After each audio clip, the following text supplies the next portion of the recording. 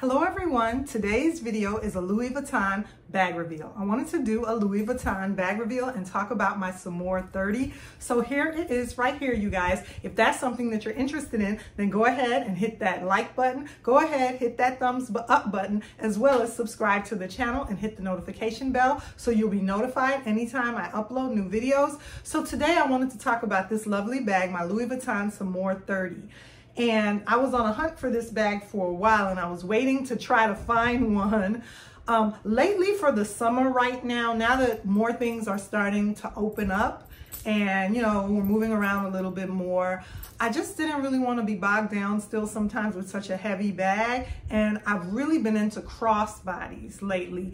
And I had my eye on this particular bag because you could wear it as a crossbody so you guys know the Saumur is kind of like a saddle bag. And um, you've seen this bag a million times on other channels but I wanted to still discuss mine because mine is special to me so basically I wanted to make sure that I went ahead and picked one that had, you know, pretty good um, vachetta. So the vachetta on this one is, you know, lightly colored. It's not too, too patinaed. It's not too heavily patinaed. And, you know, normally with my vintage Louis Vuitton bags, I do go ahead and the only thing I do to them is just a little bit of apple conditioner um, and that does darken the patina just a little bit. It darkens the vachetta um, leather just a little bit more. So I, you know, I wanted to make sure that I got one that the patina wasn't very heavy or honey colored yet. So I am very happy with this one that, you know, the patina isn't very dark or anything, you know, yet. And with time, I also like when I buy a pre-loved Louis Vuitton bag, I like when it patinas, you know, even if it, obviously if it's a vintage Louis Vuitton bag, it's pre-owned, but I like when the patina process starts a little bit more with me as the owner. So that was another reason why I ended up going ahead and deciding to pick this one right here because I have plenty of time to wear and enjoy this bag over the summer. And as I do, it'll, you know, the, it'll darken eventually and patina a little bit more to that more honey color. Um, but what I like about it is the fact that it is a smaller crossbody because initially when I set out to get this Saumur bag, I wanted the 35. You guys know this bag comes in several sizes. I believe that it comes in at least two or three sizes. I know the, another, the larger size that I was looking at was the size 35. So you, I know me, you guys know me, your girl. I wanted the 35. I wanted the larger one.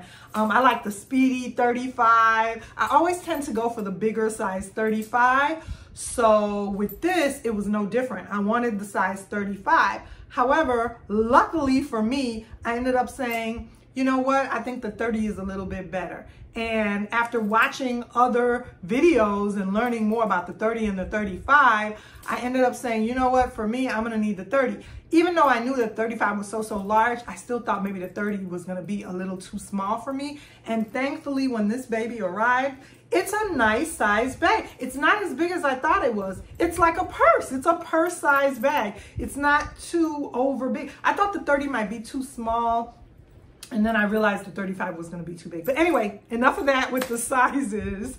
So I'm so happy that I ended up going with the 30 and this is it right here. And you guys know you get that double pouch, double flap with the Saumur, like a saddle bag. And the front of the bag the Louis Vuitton is the right way. It's, you know, the LVs are the right way. And just like with any other bag, with the one con continuous piece of canvas, the back of the bag, the rear part of the bag, the LV is upside down on the flap. Let me go ahead and open this up so that I, we could talk a little bit more about that. So you can see right here, this is the front of the bag right here and you see the LVs are the correct way. And then the back of the bag, it's upside down. And that's because the LVs are one continuous piece of canvas. And I hope I'm showing you that the right way. Maybe I should have showed it to you this way because, you know, I'm in the camera and stuff is backwards. So let me go ahead and show it to you this way. Maybe, maybe we'll do it this way. So here it is when they're upside down. And if you look at it this way, the LVs, it's, it's all, there you go, it's all one continuous piece of canvas. I also noticed online that a few of the bags were missing studs. Like there's a rivet here and a rivet here and rivets there. Um, rivets, you know, on the bag. There's also this is how it attaches by the side. So when you want to go ahead, you know, you can always go ahead and open this up. Let me go ahead and open this up so I can show you guys some more of the bag. So this is what the, when you open both sides of the flap, it looks like that. And I noticed online that a lot of the bags had rivets missing, like this middle rivet, rivet would be missing or one of the end rivets would be missing. So I wanted to make sure that I got one where, you know, it had all the rivets and everything on the bag was okay. And you know, I was able to go ahead and off my checklist of things that I wanted. And, you know, this one had all the rivets. Pretty much basically when I'm buying a pre-loved bag, that's what I do. I kind of create a checklist for myself in my own head. And I think about, okay, vachetta, the color of the patina. I want to make sure I get one that's clean interior with no odors. I want to make sure I get one that you know, has, obviously I don't want a cracked bag. I don't want a bag that has cracking on the vachetta, you know, and because they are pre-loved, sometimes you may get a little bit of cracking here or there, but nothing serious. And this one right here was made in France, and there's the tag right there for it. So, so pretty. And let me show you the interior pockets. I have it stuffed. So let me go ahead and take the stuffing out. But I'm so happy about this bag because I wanted a crossbody bag so I could be more hands-free. And excuse me, I have a couple of um, Louis Vuitton bags that are, you know, totes and, and satchels, but I wanted a few more crossbody vintage Louis Vuitton bags in my collection, a few more crossbody vintage Louis Vuittons, and then that way I could just sling them across me. And if I'm at a fest or if I go out to an activity um, during the summer months, you know, I'll be fine wearing my bag, you know, and it won't, I won't be bogged down and it won't be too heavy. So this is the front right here. And the front, with the front, you only get the interior pocket. And I don't know if you're gonna, okay, you can see in there, it's so nice and clean in there. That's the front. And then with the back, with the back, you get an extra pocket, you guys. So this is the back side of the bag. And you get, with the back side, you get that main pocket right there. And then you see you get one additional pocket right there. So you have two, two little compartments in the rear, in the back part of the bag.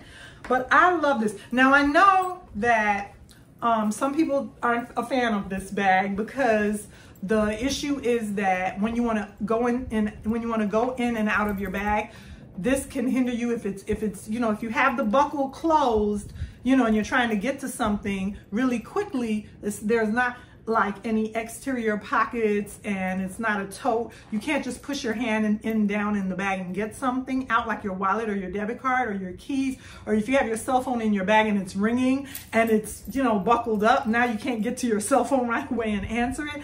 I know that you know that is a flaw or not a flaw but a downside a minus a negative of the bag that some people don't like that, you know, it's buckled closed, the buckled closure, making it, you know, not as easy to access the bag that for me i'm not too worried about it. You know when i'm when i know i'm going to be somewhere where i want to access it quickly i just won't buckle it. And for security reasons you know just be careful if you're you know if i'm in a store or something you know. I'm not trying to be that close up to anybody where anybody will be able to get their hand down in my bag. But um but yeah i'm just you know addressing some of the concerns that i know have been you know concerns about this bag for years. But for, you know, for me, I think it's going to serve all my purposes. I, I, love the fact that it's going to be an easy crossbody that I could just throw across me and go. It's such a cute bag. It looks so cute, you know, crossbody around you. And it can hold a lot, even though it's a little crossbody doesn't get too heavy and it looks so cute crossbody. It doesn't bog you down and weigh you down. And then in the rear part of the bag, I can just go ahead and put, um, this is the back in the front. But in the rear part of the bag, I can, you know, I can put the items that I want to access quickly in the front and then I could just the, the uh, items that I'm not gonna get to or that I don't need to get to right away, I could put them in the back and just buckle it closed. But I could see this baby sitting in the seat next to me in my passenger seat as I'm driving. I love looking over at my bag, you guys. I know you guys do that too. You put your lovely bag in the passenger seat and then, you know, with your sunglasses and your little Starbucks drink, your little Starbucks coffee and everything. And then when you're driving, you can just look over and glance at your pretty bag. So I'm looking forward at putting this little baby in the passenger seat and taking a ride, taking a spin with her and just enjoying her. And I'm looking forward to just wearing her during the summer months. Another thing that I like about this uh, Saumur bag is the strap. The strap is adjustable and it also has, it also has this extra, the extra little uh, pull right here, this extra little tab where, you know, the, this piece won't be just sticking out you know, you can go ahead and secure it like that. And then it's adjustable so you can wear it on different settings. That's really good. And then I like the fact that it comes with the shoulder comfort pad. With this shoulder pad, um, the comfort strap or the comfort pad on the shoulder. And I know my Louis Vuitton Boulogne has this pad as well and it really does help when you put the bag across you so that that strap doesn't dig into your neck you know, this part of this comfort strap really does help with that. And not that I'm going to be stuffing this bag that heavy anyway, but still it's it's a plus that it has that comfort strap. Another thing is that sometimes this comfort strap will be cracked because they are older bags. Sometimes you'll get one of these Louis Vuitton vintage bags and the comfort strap under the bottom here will be cracked and this one isn't cracked or anything. So that's good. You know, the vinyl rubber part of the comfort strap is still good. And then here's the back of it. And even when you move it along, because sometimes when you get a vintage Louis Vuitton bag, the area where the strap has rested for so many years will have darkened and you'll have to clean it. But you could look and see, let me try to move it for you guys. You can see, you know, it's a little lighter where where it's been the part that it covered or was uncovered is a little bit how do, what am I trying to say the area that was covered or uncovered is you see there's a little lighter here and a little lighter and this is a little darker but it's not dirt. It's not you know it's not sometimes you get them and they're you know they show real dirt right there a sign of dirt. It's, it's a little darker but you know nothing serious. And on camera I could see it with my light it's picking it up but actually when I look at it personally here, I can't even notice it in the light. I can only see it on camera. You guys know the camera when you uh, it picks up everything. It's the camera shows everything, all the details up. Sometimes things you can't even see in person, you'll be able to see on camera when you're looking at a bag. So that actually is a good thing because then it's like a micro, uh, microscope, you know, it's very magnifying and it can see every detail of the bag. So yeah, you guys, I'm so, so happy to have this Louis Vuitton Saumur bag in my collection and I'm looking so forward to wearing it during the uh, summer months and just, you know, enjoying this lovely bag. So thank you for joining me for my Louis Vuitton Saumur bag reveal. I hope you enjoyed this video. Stay tuned to my channel for more Louis Vuitton bags and more Louis Vuitton uh, reveals and unboxings. And I'll see you again soon in another video.